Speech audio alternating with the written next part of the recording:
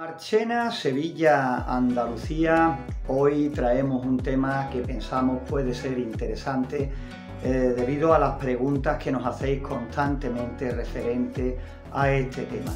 Hoy vamos a hablar del consumo de una incubadora casera. Cuánta energía consume y por supuesto cuánto nos va a costar tener todos los días de incubación nuestra incubadora en funcionamiento.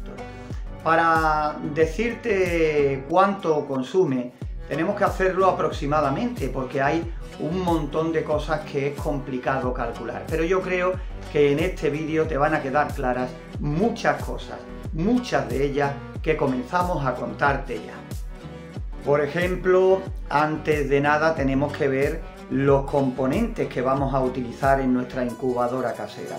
Termostato, eh, fuente de calor y a partir de ahí algunas cosas más como el ventilador, motor de la bandeja de volteo si la queremos hacer automática, en fin, un montón de componentes que podemos ir añadiendo a nuestra incubadora. Pero nosotros en el día de hoy solo vamos a usar el termostato, el ventilador y la fuente de calor. Supongamos que utilizamos como fuente de calor una bombilla o una resistencia cuyo consumo sea de aproximadamente 60 vatios. Y por supuesto tenemos que tener en cuenta el consumo del termostato y también del ventilador. Estaría en torno a unos 5-10 vatios aproximadamente. Nosotros para calcular eh, siempre un poquito por encima vamos a suponer que estos componentes se lleven 20 vatios. Por lo tanto partimos de la idea que el consumo de los componentes de nuestra incubadora es de 80 vatios de potencia. Y no solo tenemos que tener en cuenta pues, los componentes de la incubadora, tenemos que también estar pendientes al material del que hemos construido nuestra incubadora. Veréis qué simple. Si hacemos una incubadora que retenga muy poco tiempo el calor, pues entonces tendremos que cada vez más veces activará el termostato la fuente de calor, por lo tanto habrá mayor consumo. Si por contra hacemos una incubadora, que te digo, en el congelador de un frigorífico, que ahí sí retiene mucho más la temperatura, el consumo será mucho menos. Con esto que hemos dicho del material de la incubadora, pues supongamos que el tiempo de encendido de la incubadora es de aproximadamente 12 horas. Vamos a escoger la mitad del día. 12 horas nuestra incubadora estará conectada, por lo tanto consumiendo.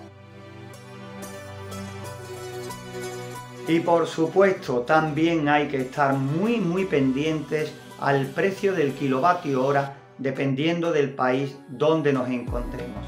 Te puedo decir que aquí en España el precio del kilovatio hora está por las nubes. A esto tenemos que añadir que no cuesta igual en todas las franjas horarias. Hay unas horas determinadas donde el kilovatio hora es más barato y otras donde el kilovatio hora es más caro. Por eso, viendo la tabla de valores, de precios, vamos a escoger un valor intermedio para hacer los cálculos. Yo creo que teniendo en cuenta todo esto que te hemos dicho hasta el momento, podemos empezar a calcular ya cuánto nos cuesta eh, el tener encendida nuestra incubadora durante 21 días, por ejemplo, en el caso de que estemos incubando huevos de gallina. Vamos a verlo detenidamente. Y a partir de aquí podríamos habernos hecho un poquito los interesantes, hablar de las diferentes fórmulas que hemos encontrado a través de internet y demás, consumo energético en kilovatios igual a potencia por tiempo o esta otra, el gasto en euros es igual al precio de la energía por consumo energético y otras muchas, muchas fórmulas que hay para calcular todo esto, pero no, no hemos hecho esto. Hemos ido primero a mirar eh, cuál es la tarifa aquí de la electricidad según la franja horaria y hemos cogido este trozo de la tabla para no sacar las 24 horas, tampoco es plan. Y ya veis que a las 9, a las 10, a las 11, a las 12 del mediodía van cambiando los valores.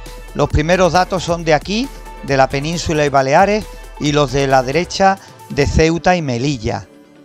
Y la cantidad que hemos escogido de kilovatio hora ha sido la de las 12 del mediodía 0,19124.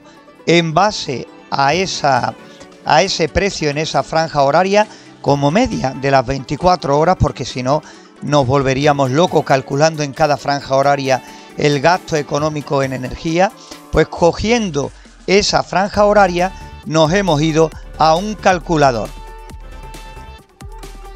Metiendo nuestros datos, ya sabéis, aproximadamente 80 vatios de consumo tirando de largo, bastante alto para que nos salga más que menos, pues tirando eso y a cada día 24 horas nos sale el día un consumo de 0,18 euros, 18 céntimos al día tener nuestra incubadora consumiendo esos 80 vatios.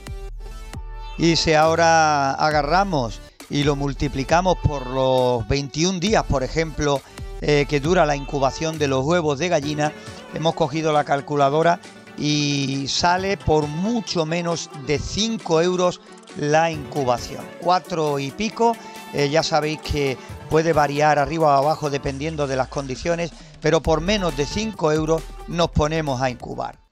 Ya habéis visto en este vídeo que es complicado dar un precio exacto a no ser que se tenga un medidor que se conecte a la incubadora y ahí tengamos constancia a tiempo real de cuál es el consumo de nuestra incubadora. Con estas tablas y con estos valores nos podemos hacer ya perfectamente una idea. Nosotros lo que sí te podemos decir es que eh, para hacer nuestros vídeos, para crear nuestro contenido, estamos casi siempre incubando y la verdad es que no es una cosa que se note mucho en el recibo de la luz. Eh, hay veces que estamos haciendo hasta dos, tres incubadoras a la vez, eh, incubaciones a la vez y tampoco hemos notado una diferencia que podamos decir esto han sido las incubadoras, las incubaciones. También hay que comentar que no es lo mismo incubar en invierno que incubar en verano porque en invierno, qué duda cabe, la incubadora estará actuando con más frecuencia. En verano, con esto de las altas temperaturas que estamos sufriendo ahora, la incubadora pues prácticamente eh, no va a tener consumo porque ya de por sí la temperatura de partida aquí en nuestra región mínimo en el interior de las casas está alrededor de los 30 grados aproximadamente. Como siempre esperando que todo esto que te hemos contado algún día te sea de desde Marchena, Sevilla, Andalucía, un saludo a todos.